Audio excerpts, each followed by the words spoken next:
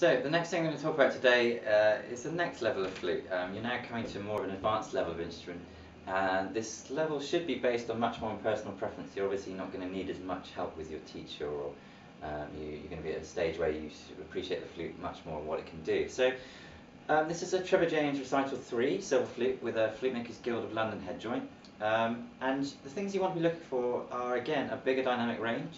Um, the tuning at this level should really be a given but it's worth checking it out. Um, also, you should be able to do many more colours with the with the flute at this stage, and there should be a bit more flexibility in what you're doing with the sound as well. So, I'll just show you a few things that I use, exercises that I use just to, to test flute sound. Um, the first is I, I play Fauré Pavane, and, and, I try and do it as quietly as possible, with an octave up. Um, so I'm going to start about piano and just see where it is, and then I'm just going to try and back it off and see how quietly it can play. So.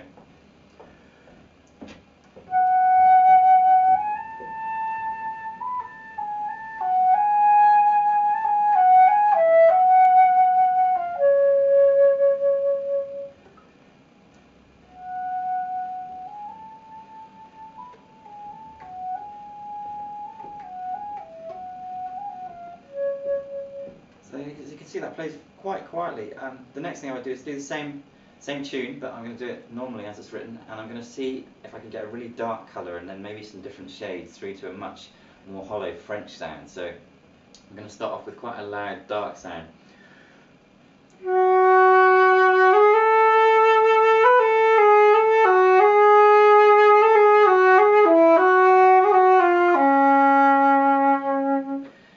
Maybe let's try doing the complete opposite. So.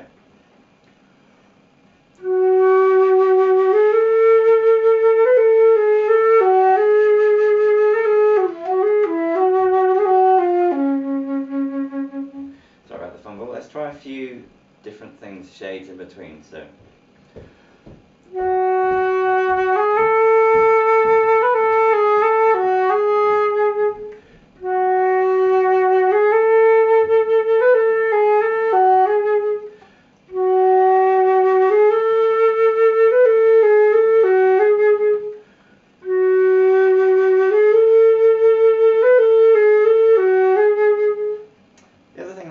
Maybe try is I try and play, because I play a lot of orchestral playing, um, is to sound like other instruments, especially like a clarinet, so not to always want to sound like a flute. So I have an exercise where I play the, the slow movement from the Mozart clarinet concerto and see if I can really get that very sort of focused clarinet sound, very pure.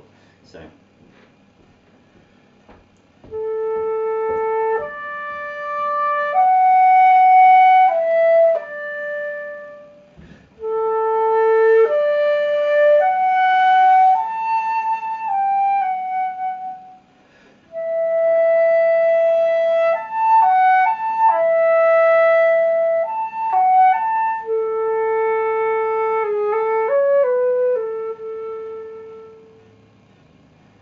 So as we were talking about dynamic range, it's, important to try the, the top of the flute as well, to see if you can play quietly at the top. It's not just a case of getting a really big sound. So.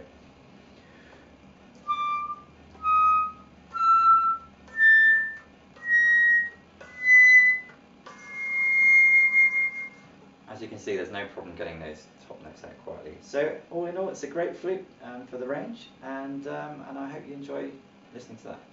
Thank you.